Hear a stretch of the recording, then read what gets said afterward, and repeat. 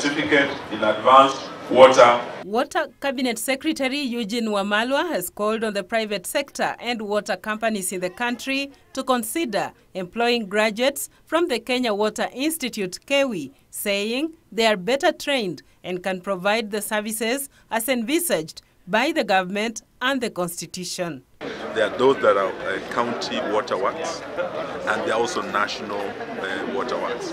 The national waterworks are those that are of national strategic importance, that cut across counties, that actually uh, are of national interest. So there's no conflict at all.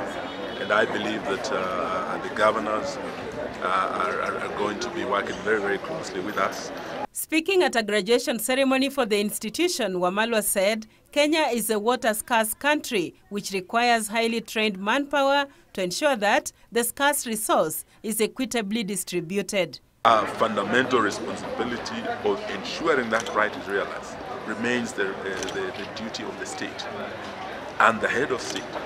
So it is something that the national government they cannot leave to the counties, or the counties on their own cannot deliver without the support of the national government and our development partners. So we will give more focus to these middle-level colleges, because without these technicians, the country cannot realize its Vision 2030 uh, goals. So he said the water bill of 2014, when passed, will ensure that the country is able to realize its mandate in water provision.